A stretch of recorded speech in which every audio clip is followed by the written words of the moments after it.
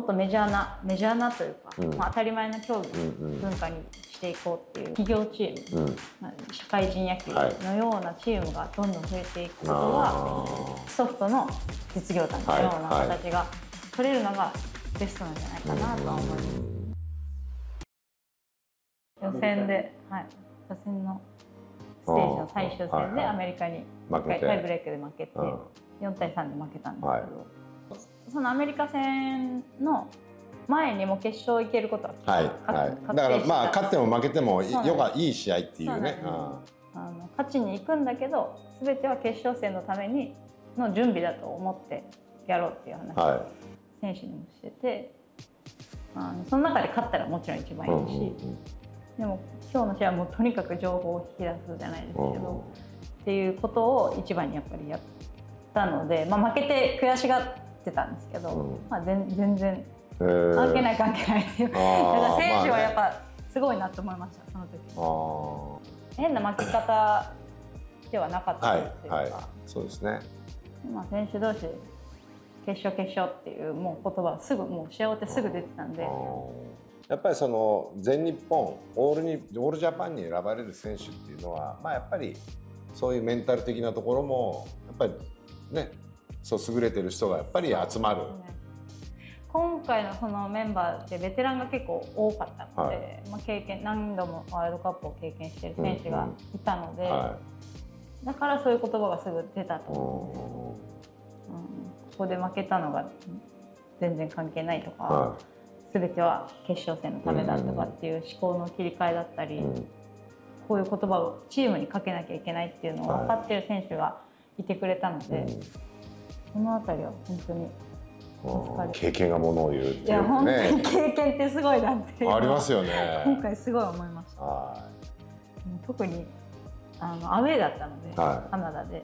アウェーの声援ってすごいフォアボールを出しただけで、はい。うわーってくるんですよね観客が、はそれでなんか大ピンチに錯覚してしまうというか、それで飲まれていくっていう経験もしたことがあったので、はいやっぱり初めての選手だったり経験が浅い選手はそこでちょっと飲まれ飲まれそうになった試合があって、まあ、これが国際大会だよっていうのは学べたと思うので、こうもう全然全く違いますねコーチで行った時と監督、まあ、コーチで行った時はもう本当に監督コーチが、えーお二方いらっしゃってもう学びに行ってるような感覚だったのであすごいなすごいなと思いながらいろんなことを吸収させてもらったような大会だったので。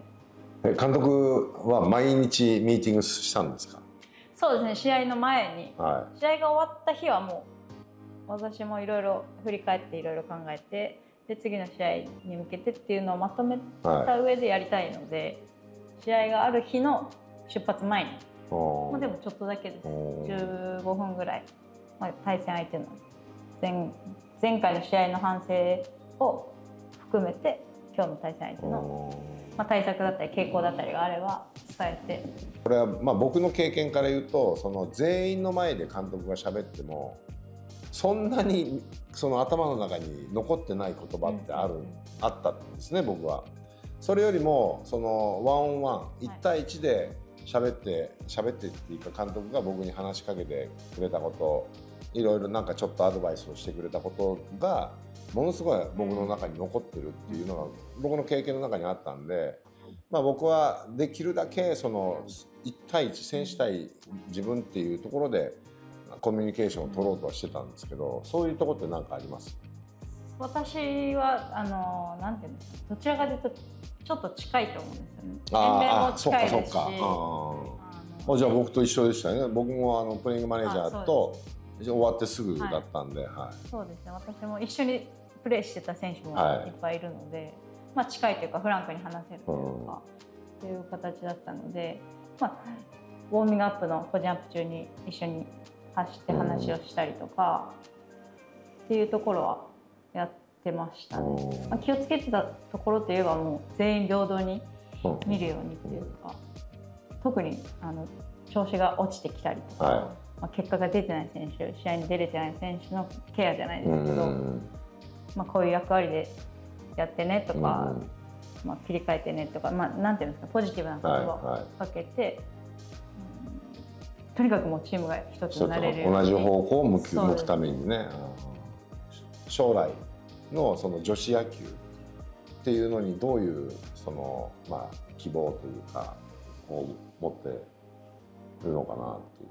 えー女子野球もっともっとメジャーなメジャーなというか、うん。まあ、当たり前の競技、うんうん。文化にしていこうっていうことを掲げて活動してるんですけど、えープロというよりは、まあ、企業チーム、うん。まあ、社会人野球のようなチームがどんどん増えていくことが、あまあ、すごく大事なんじゃないかなとは私個人的には思っていて、うんうん企業さんが女子の社員を集めてきてくださってはい。チームを作る。っていうのがどんどん増えていくことが一番発展していくんじゃないかなとは思うんですよ。女子女子ソフトの実業団のような形が取れるのがベストなんじゃないかなとは思います。うんその中でそのレベルがどんどん上がってきたらプロ野球っていうのも、うん。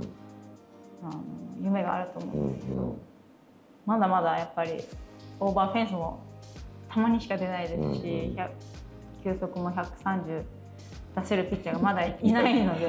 でも女子で140出し出したら怖いよね。いやさすがに140出てたらまあ、やっぱちょっと違うでしょ。多分ちょっと違うと思うんですよ。140超えるあとん、まり感じなかったので、でうん。もまあ、130は多分出てましたね。いやでもいや将来的にありますよね。いやありますね。ある絶対あると思うよ。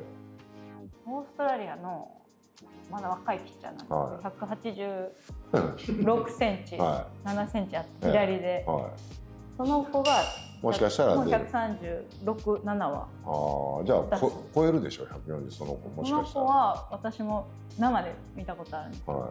すごい あれかな？すごいです。女子がだ、まあ、プロ野球に入ってくるってないのかな？ダメなのかもう厳しいです、ね、厳しいですかねやっぱり。き規定がなあんのかななんか。はないですよね。そもそも設けられてないだよね。そういう。プロ野球に女子が入っちゃダメとかないでしょ？私のすっごい先輩が昔オリックスのはい。トライアウトにはい。プロテストに受けにあ行かあじゃあれたことがあはるのであの女性だからダメっていういはい。ことはないですよね。まあ、まあ、あのできるかできないかだからね結局は。できるんだったらあこれプロで通用するかしないかだからするなと思えばあるよね。まあでも将来的にあんあんじゃないですか。あまあそれはちょっと僕もあのなんかいいなと今思いましたね。だから社会人女子社会人野球ね、はい。